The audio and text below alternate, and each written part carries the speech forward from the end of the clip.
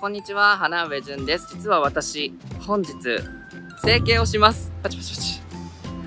恥ずかしい。施術する箇所なんですけど、目ですね、二重の整形をしていきたいと思います。この後、湘南美容クリニックの新宿本院に伺って、クイックコスメティークトリプルという施術を受ける予定です。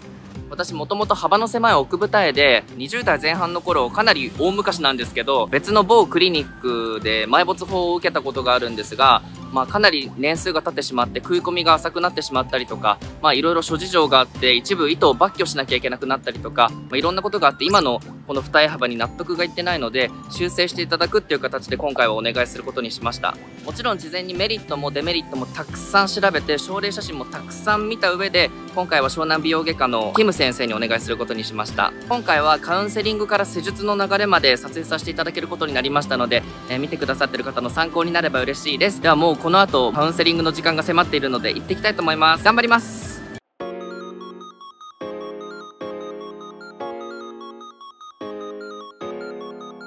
末広か平行だったらどっちが？ギリギリ平行なの？ぐらい。このぐらいがいいんですこのぐらいがいい。難しい。伝えづらい。えっと、今日お薬2つ処方がございまして1個がオフサロン点眼という目薬になります、はい。でこれが感染症を予防してくれるものになるので1週間使ってください。はい。で今日両目の手術なので1日3回両目です。はい施術中に怖いからって言って息むと腫れるよってよく聞くんですけどそれは関係あるんですか？あります。あの力むと出血しやすくなります。やっぱ血管がこうギュッと縮こまるのでその分内出血がしやすくなりますしうん仕上がりにも影響してきますね。うん。あとたまに泣いちゃう方がいらっしゃるんですけどう泣かれてしまっても結構やっぱ腫れてしまいますね。んうんうん。力が入る。怖くてあ怖くてです。えーそれはない。基本的には目を軽くつぶって目線はお腹の方。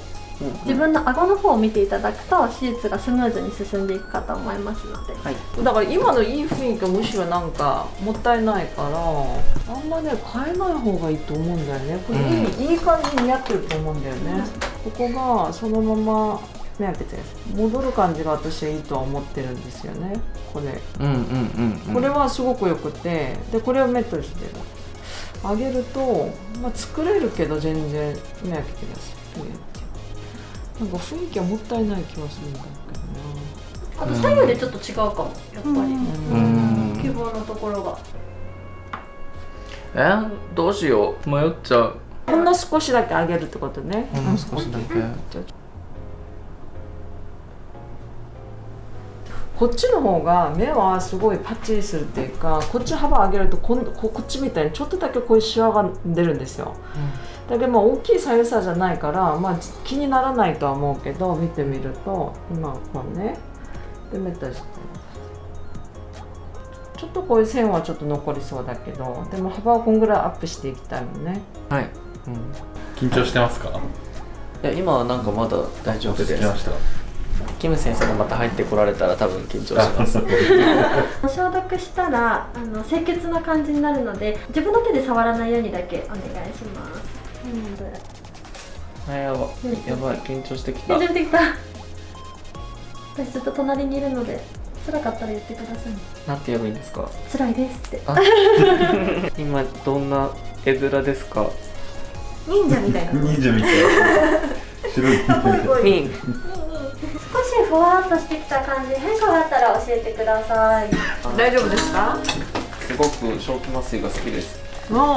えもう聞いてんの？これで。だいぶ決まってだいぶます決まってます？だいぶ決まってる？麻酔の注射していきますよ。ここだけ頑張りましょう。ちょっとチクッとしますね。私の触ってるところ見てください。うんぼーっとする感じありますか？ないですはい。ちょっと上げて。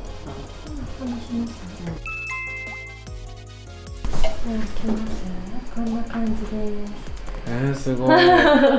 今ちょっと麻酔の影響で腫れてますけどもうちょっと幅が狭くなります。すごい。どうですか？くちゃ綺麗です。可愛いですか？可愛いです。男の人に言われたいな。あー正気麻酔気持ちよすぎた。最高。あっという間でしたねでも。めちゃくちゃ泥酔する感じで。このまま冷めたくないみたいな感じ。痛みとかか感じてる余裕ない。ガスは完全に抜けましたか？残念ながら。あまだ若干ありまますだ若干あります。いい感じだね。今だと鏡？ゴロゴロするのどうです？大丈夫そうです？うんでもゴロゴロはまだするけど大丈夫です多分、で目の裏も確認してるんで特に問題はないから、多分手術した後のゴロゴロかなと思います、いい感じですよね。だから最初はやっぱり明日明後日2週間後やっぱり腫れてると思うけど多分腫れが引いてるウィークにつれてこうやって上から落ちてくるので、うんうんまあ最初1ヶ月はちょっと思ったより広いかなみたいな感覚が続くとは思います、うんうん。でもいい感じだねうん。ありがとうございます。あいい感じいい感じいい感じ。うん、セクシーさはちょっと残したままがいいからそれぐらいの幅がよあと食い込みもそんな出てないですよね。どうです、うん。こんぐらいうん。こんぐらい大丈夫でしょ？はい。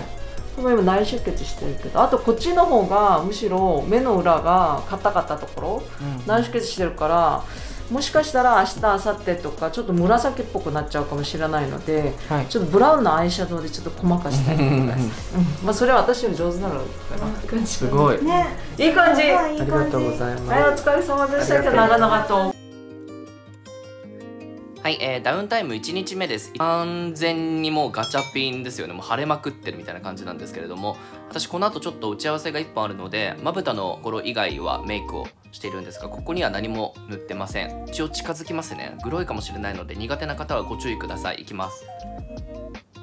こんな感じ。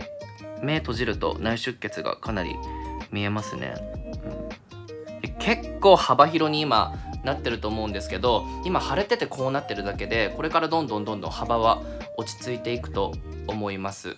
でもさすがにこれでちょっと出かけるのは気まずいので一応メガネして出かけようかなとは思ってるんですけど痛みっていうほどの痛みはないんですけどギュッて力入れたりとかするとなんか違和感があるかなっていう感じですね。今朝朝起きた時にびっくりしたんですけどあの目やにで目が開かないですね。ここら辺とかバリバリであ開かない開かないってなります。なのであの今後埋没される方はそれを覚悟していてください。ダウンタイム2日目です。今日ちょっとすっぴんなのでお見苦しいかもしれないんですけど近づきますね。こんな感じ。あやばい。顔が汚い。ごめんなさい。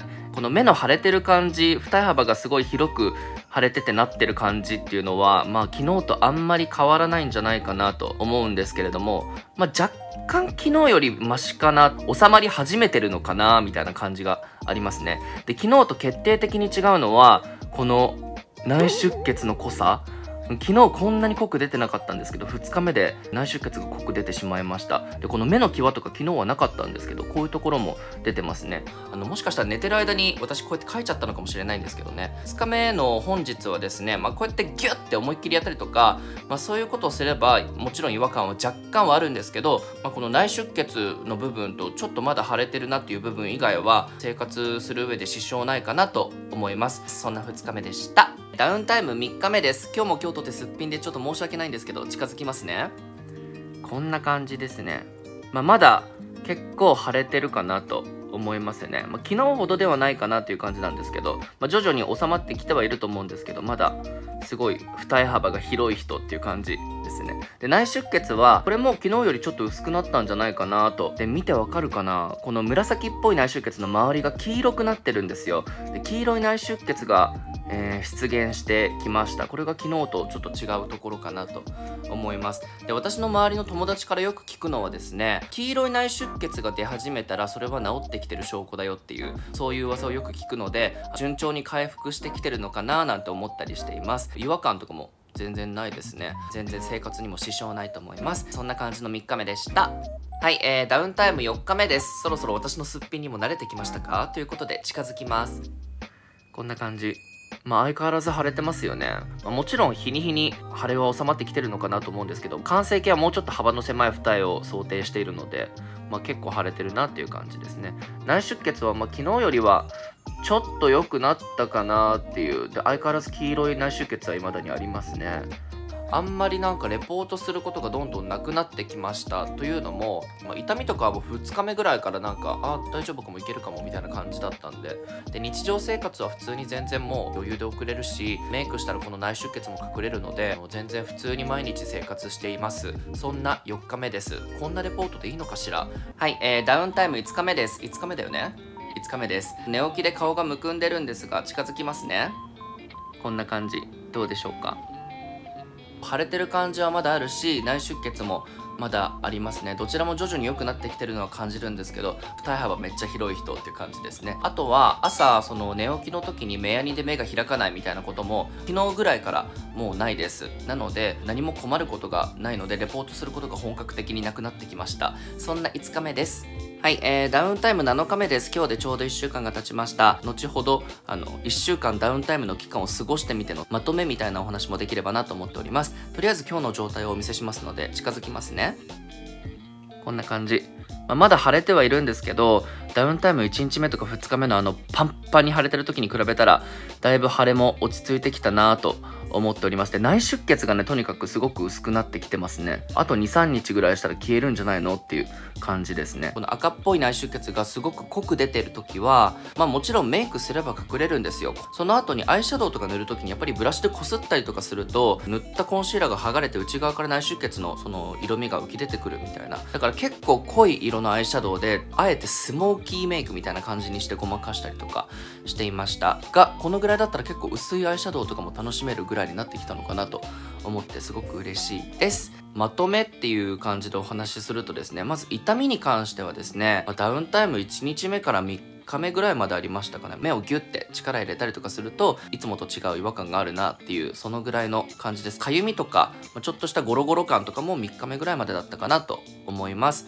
朝目やにで目が開かない問題これはあの経験者の方はわかると思うんですけど朝起きる時にですね寝てる間に出た目やにが朝起きる頃にバリバリに固まって上まぶたと下まぶたをくっつけてしまって目を開けられないんですねとにかくだから意識は起きてるのに目が開かないからあやばいと思ってこうやっておはようございますって起きるっていう。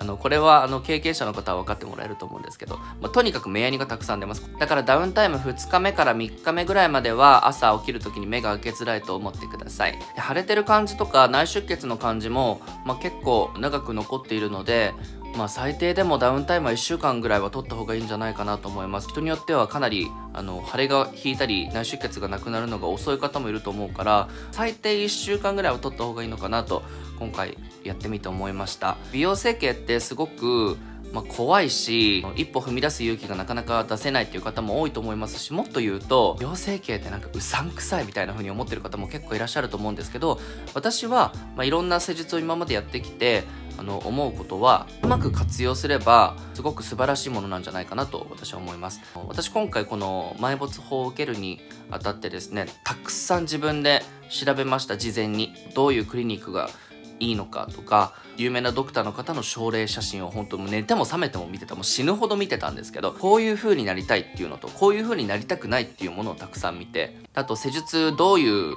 流れで行うものなのかとかどういう糸を使うのかとか二重の整形をしたいと思ってる時って二重の整形をした後のメリットばっかりに目が行きがちだと思うんですけどそうじゃなくてちゃんと自分でメリットデメリットを調べた上で次のステップとしてカウンセリングに行ってそこのカウンセリングでそのドクターの方ができることと私がしたいと思うことのそのすり合わせっていうか逆にそこまではしない方がいいよって言ってもらえるかとかなんかそういうドクターとの相性もあると思いますしより親身になってくれるドクターの方を私は選びたいのでなんかなんとなく適当に扱われたなとかそういう方のところではやっぱり私は受けたくないのでカウンセリングもとっても大事なんですけどもっと大事なのはそれ以前の事前の自分のリサーチがすごく大切だと思っております。埋没考えてらっしゃる方たくさんいらっしゃると思いますが私は今回湘南美容外科のキム先生にお願いしましたしすごくやってよかったなと思っていますがこれが必ずしも全員に当てはまるものではないと思うのでご自身に合ったクリニックと先生を選んで自分の納得のいく手術をしてもらえたらいいなと思っております。